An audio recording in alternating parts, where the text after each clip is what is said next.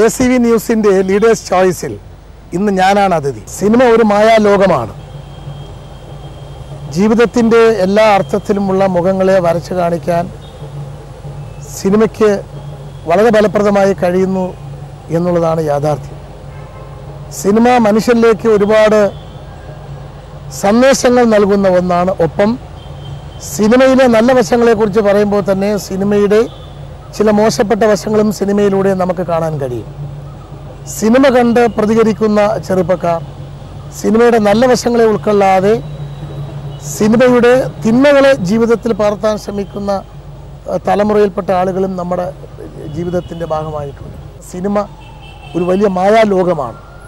നന്മയെയും തിന്മയെയും എല്ലാം നമുക്ക് സിനിമയിൽ കൂടി കാണാൻ കഴിയുന്നു എന്നുള്ളതാണ് യാഥാർത്ഥ്യം. മലയാളത്തിലെ നല്ല സിനിമകളെക്കുറിച്ച് നമ്മൾ ചിന്തിക്കുമ്പോൾ ലോക സിനിമയിലേക്ക് മലയാളം സംഭാവന ചെയ്ത നിരവധി സിനിമകളുണ്ട്. ഇന്ത്യൻ സിനിമകളിൽ നമ്മൾ പരിശോധിച്ചാലും മലയാള സിനിമ എപ്പോഴും ആഴത്തിൽ ആസ്വാദകരെ സ്വാധീനിച്ചിട്ടുള്ള നിരവധി സിനിമകളുണ്ട്. ഏറ്റവും ഒടുവിലായി ഇറങ്ങിയ ചിത്രങ്ങളും പഴയ ചിത്രങ്ങളും നിരവധി സിനിമകളാണ്. ഞാനൊരു എല്ലാ സിനിമകളും കാണുന്ന ഒരു ഒരു ആസ്വാദകൻ എന്നുള്ള നിലയിൽ ഒരു നല്ല സിനിമയെക്കുറിച്ച് പ്രത്യേകമായി എടുത്തു പറയാൻ എനിക്ക് ഒരുപക്ഷെ പ്രയാസമായിരിക്കുമെങ്കിൽ പോലും ഞാനൊരു പ്രത്യേകമായ എന്റെ മനസ്സിൽ ഓർമ്മിക്കുന്ന ഒരു സിനിമ. ആ സിനിമ ഞാൻ കണ്ടുകൊണ്ടിരിക്കുമ്പോൾ ഞാൻ മാത്രമല്ല തിയേറ്റർ ഒന്നടങ്കം തേങ്ങലടിച്ച് സിനിമ ഇവിടെ ഒരു പ്രധാനപ്പെട്ട ഒരു ഒരു ഘട്ടം കഴിഞ്ഞത് മുതൽ ആ സിനിമയിൽ കാണാനിരുന്ന മുഴുവൻ പ്രേക്ഷകരും തേങ്ങലടിച്ച് കരയുന്ന ഒരു സിനിമ. അത് ചിന്തിക്കുമ്പോൾ തോറും മനസ്സിൽ പ്രയാസം ഊറി ഊറി വരുന്ന സങ്കടം ഊറി വരുന്ന ഒരു സിനിമ ആകാശദൂത്. സിബി മലയിൽ സംവിധാനം ചെയ്ത മാധവിയും അന്തരിച്ച പ്രിയപ്പെട്ട നടൻ ശ്രീ മുരളിയും അഭിനയിച്ച അതുപോലെ Shri M F Varghese villain റോളിൽ അഭിനയിച്ച ആ സിനിമയുടെ ഓരോ രംഗങ്ങളെക്കുറിച്ചും പറയുമ്പോൾ വാസ്തവത്തിൽ കണ്ടമിടറിപ്പോകും.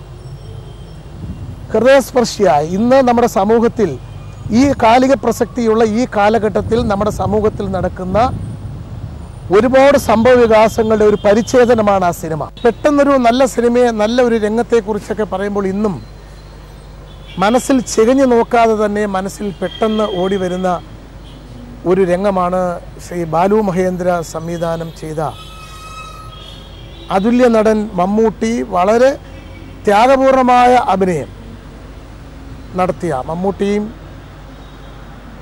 ശ്രീ ശോഭനയും ശ്രീമതി കുമാരി ശോഭനയും അഭിനയിച്ച യാത്ര എന്ന സിനിമയുടെ ആ സിനിമയുടെ അവസാന രംഗത്തേക്കുള്ള ഒരു പ്രവേശനം.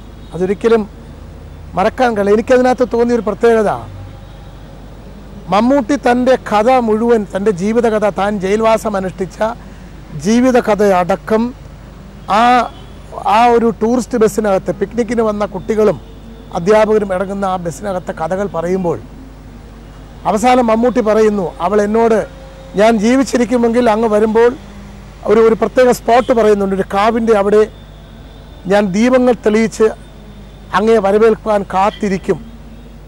എന്ന് മമ്മൂട്ടി പറയുമ്പോൾ സിനിമ കണ്ടിരിക്കുന്ന നമ്മുടെ മനസ്സിൽ എല്ലാവരുടെയും മനസ്സിൽ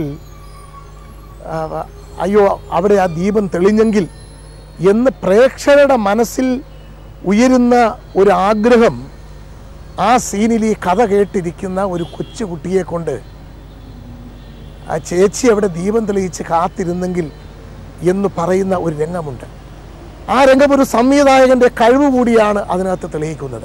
എന്റെ മനസ്സിൽ വളരെ ഹൃദയസ്പർശിയായി തോന്നിയ ഒരു ഒരു രംഗത്തിലെ ഒരു ഡയലോഗ് അത് മോഹൻലാലിന്റെ ചിത്രം എന്ന സിനിമ. ശ്രീ ശ്രീനിവാസന്റെ ഒരു കഥയെ ആസ്പദമാക്കി ശ്രീ പ്രിയദർശൻ എടുത്ത ചിത്രം സിനിമയിൽ. ആ സിനിമയുടെ ഏകദേശം അവസാന രംഗത്തേക്ക് എത്തുമ്പോൾ ഒരു ഒരു പാട്ട് രംഗം കഴിഞ്ഞിട്ട് ആ സിനിമ അവസാനിക്കാൻ പോവുകയാണ്. ആ സിനിമയുടെ വളരെ സുപ്രധാനമായ രംഗമാണ്. അന്തരിച്ച നടൻ ശ്രീ എം ജി സോമൻ ഒരു പോലീസ് ഓഫീസറായി രണ്ട് ദിവസം കഴിഞ്ഞാൽ തൂക്കിക്കൊല്ലേണ്ട മോഹൻലാലിനെ അറസ്റ്റ് ചെയ്ത് കൊണ്ടുപോകാൻ വന്നു നിൽക്കുമ്പോൾ ആ പാട്ടിന്റെ അന്തരീക്ഷത്തിൽ എം ജി സോമനുമുണ്ട്. ആ പാട്ട് സീൻ കഴിഞ്ഞിട്ട് വളരെ നിഷ്കളങ്കമായി ശ്രീ മോഹൻലാൽ ശ്രീ എം ജി സോമന്റെ അടുത്ത് വന്നിട്ട് ചോദിക്കുകയാണ് സാർ ജീവിക്കാനൊരു കൊതി തോന്നുന്നത് കൊണ്ട് അങ്ങയോട് ഞാൻ ചോദിച്ചു പോവുകയാണ്. എന്നെ തൂക്കിക്കൊല്ലാതിരിക്കാൻ എന്തെങ്കിലും വഴിയുണ്ടോ? എന്ന് ചോദിക്കുമ്പോൾ എം ജി സോമൻ മറുപടി പറയാൻ കഴിയാതെ ഒന്ന് മുഖം തിരിക്കാൻ ശ്രമിച്ചിട്ട് തിരിഞ്ഞു നോക്കുമ്പോൾ മോഹൻലാലിന്റെ അടുത്ത ഡയലോഗാണ്. പ്രയാസമായിരിക്കും അല്ലേ സാരമില്ല സാർ. എന്ന് ഒരു നിഷ്കളങ്കമായ എന്താണ് അതുപോലെ എല്ലാം നഷ്ടപ്പെട്ടു പോയാലും ഒരു ഒരു ചിരി ഒരു നിഷ്കളങ്കമായ ഒരു ചിരിയോടെ മോഹൻലാൽ പറഞ്ഞ ആ ഒരു ഒരു ഒന്നര രണ്ട് മിനിറ്റത്തെ ആ ഡയലോഗ് വാസ്തവത്തിൽ മനസ്സിലും ഹൃദയത്തിലും ഒരു എരിവുണ്ടാക്കിയ ഒരു ഡയലോഗാണ്. രംഗങ്ങളെക്കുറിച്ച് ഏതാണ് ഏറ്റവും ഇഷ്ടപ്പെട്ടതെന്ന് പറഞ്ഞാൽ നമുക്ക് യഥാർത്ഥത്തിൽ എനിക്ക് ശ്രീ ജഗദീഷ് ശ്രീകുമാറിന്റെ സ്വാഭാവികമായി അദ്ദേഹം ഉണ്ടാക്കിയെടുക്കുന്ന ചില ആശയരംഗങ്ങളൊക്കെ മനസ്സിൽ നിറഞ്ഞു നിൽക്കുന്നു എങ്കിൽ പോലും ശ്രീ തെങ്കാശി പട്ടണം എന്ന സിനിമയിലെ ദിലീപും മച്ചാൻ വർഗീസും സലീം കുമാറുമായി ചേർന്ന് കാവ്യ മാധവനെ കാണാനായി രാത്രി വരുന്നൊരു രംഗമുണ്ട്. അതിൽ മച്ചാൻ വർഗീസ് കറവക്കാരനായി അവിടെ കിടക്കുന്ന രംഗവും സലീം കുമാറും ദിലീപുമായി പശുവിൻ തൊഴുത്തിൽ പശുവിന്റെ രൂപം ഉണ്ടാക്കി അതിനകത്ത് വന്ന് രണ്ടുപേരും പശുവിന്റെ രൂപത്തിൽ കുനിഞ്ഞു നിന്ന് തൊഴുത്തിൽ വരികയും പെട്ടെന്ന് മച്ചാൻ വർഗീസ് ഉണരുമ്പോൾ നേരം അതിന്റെ കോഴി കൂവുന്ന ശബ്ദം കേട്ടു എന്ന ധാരണയിൽ പാൽ കറക്കാൻ സമയമായി എന്ന ധാരണയിൽ പെട്ടെന്ന് മച്ചാൻ വർഗീസ് പാൽ പാത്രവുമായി കറക്കാൻ വരുമ്പോൾ പശുവിന്റെ അകിട് കാണുന്നില്ല. കാരണം ഇത് രണ്ട് മനുഷ്യരാണ് കുനിഞ്ഞു നിൽക്കുന്നത് ദിലീപും സലീം കുമാർ പെട്ടെന്ന് സലീമിനോട് ദിലീപ് പറയുന്നത് നിന്റെ കയ്യിൽ വെച്ചിരിക്കുന്ന ഗ്ലൗസ് ഒന്ന് കാറ്റ് കയറ്റി അകിടാക്കി മാറ്റാൻ പറയുന്ന രംഗം. മച്ചാൻ വർഗീസ ആ ഗ്ലൗസിൽ കാറ്റ് കയറ്റിയ ഗ്ലൗസിൽ ഇങ്ങനെ പാൽ കറക്കുന്ന ഒരു രംഗം. അത് വളരെ വളരെ മനോഹരമായിട്ടാണ് ആ സീൻ ആ ഹാസ്യ സീൻ ചിത്രീകരിച്ചിരിക്കുന്നത്. മലയാളത്തിലെ നല്ല പാട്ടുകളെക്കുറിച്ച് പറഞ്ഞാൽ നമുക്ക് ഒരുപാട് പാട്ടുകളെക്കുറിച്ച് പറയേണ്ടി വരും. മലയാള സിനിമയുടെ പ്രത്യേകതയും ആ സിനിമയുടെ അന്തരീക്ഷം അനുസരിച്ച് നല്ല ഗാനങ്ങൾ ഉണ്ടാകുന്നു എന്നുള്ളതാണ് മറ്റ് ഭാഷകളെ അപേക്ഷിച്ച്. അങ്ങനെ ചിന്തിച്ചാൽ ഒരുപാട് നല്ല പാട്ടുകളെക്കുറിച്ച് നമുക്ക് പറയേണ്ടി വരും. എങ്കിൽ പോലും ശ്രീ ജയരാജ് സംവിധാനം ചെയ്ത മകൾക്ക് എന്ന സിനിമയിൽ ഡോക്ടറുടെ വേഷത്തിൽ സുരേഷ് ഗോപി അഭിനയിക്കുന്ന സിനിമയാണ് ശോഭനയും. സുരേഷ് ഗോപിയുമാണ് അതിനകത്ത് പ്രധാന കഥാപാത്രങ്ങൾ. ശോഭന മനോരോഗിയായ ഒരു ഒരു ഒരു പാവപ്പെട്ട സ്ത്രീയായിട്ടാണ് അഭിനയിക്കുന്നത്. ഒരു ജയിലുമായി ബന്ധപ്പെട്ട ഒരു അന്തരീക്ഷത്തിലാണ്.